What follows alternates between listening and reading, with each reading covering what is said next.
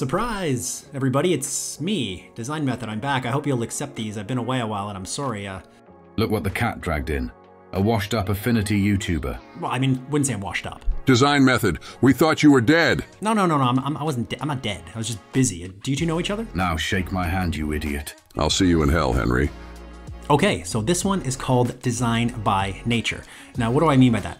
What I mean is nature is beautiful and everything seems to work in harmony. All the colors, everything just sort of fits. Whatever season, wherever in the world, it looks just beautiful. And what we're gonna do is pull some natural colors from these natural, untouched landscapes and create some really cool stuff. Let me show you what I mean.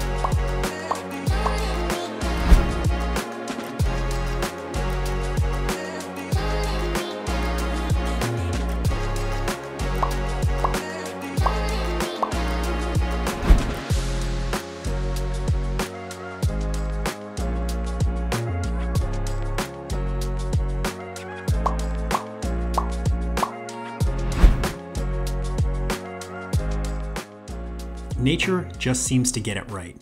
If it's untouched by humans, again, any season, any place in the world, these beautiful colors are everywhere around us. And you can use these colors and these landscapes to come up with ideas and design different things logos, packaging, whatever you're into. So we're going to use this example here, like a volcano from like Iceland. We're going to go into Affinity, we're going to pull some of these colors and design something. Let's go. All right, so we're in Affinity Photo. Let's grab some of these colors, these natural colors here.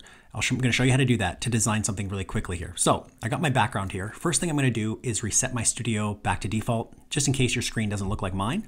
And we can match them up by going up to Window, Studio, and Reset Studio. That'll reset everything back to default.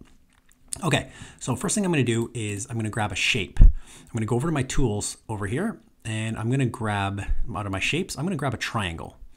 So I'm just going to click, drag out a triangle.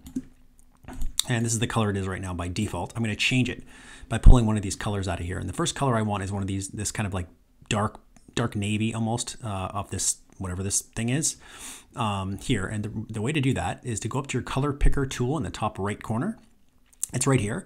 And you're going to click your mouse, hold it, and drag. And when you, uh, to know it's working, you'll see as I'm moving the circle around, it's picking up magnifying and picking up the colors. So I want this like bluish, dark navy blue type down here. So I'm gonna, now that I have it selected, I'm gonna unclick my mouse. In the top right corner, the color picker has now changed that exact color. Now that I have my triangle selected, I'm gonna click on it again, and now it's changed that triangle to this color over here. So that's my first color. So gonna, what I'm gonna do is grab another triangle. I'm gonna click, drag it out. And I want another triangle, but I want it to be maybe this orange in here.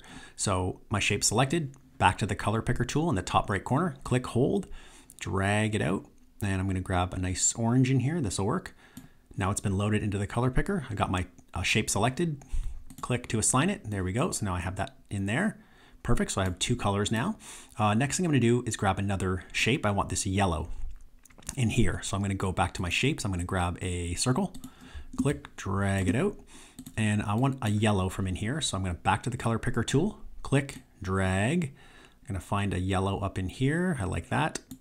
Assign it to my shape by selecting the shape and clicking back on the color picker tool. Perfect, so now I have this circle in here.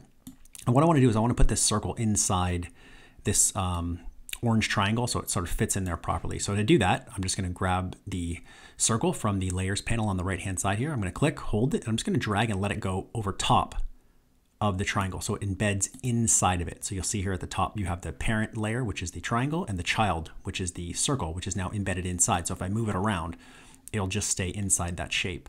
So let's do something like that maybe. We can adjust it later.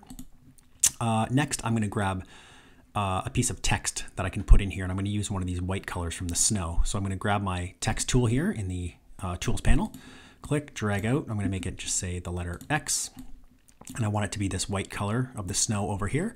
So with my text selected, I'm gonna go up to the color picker tool, click, drag, bring it down to maybe here, release.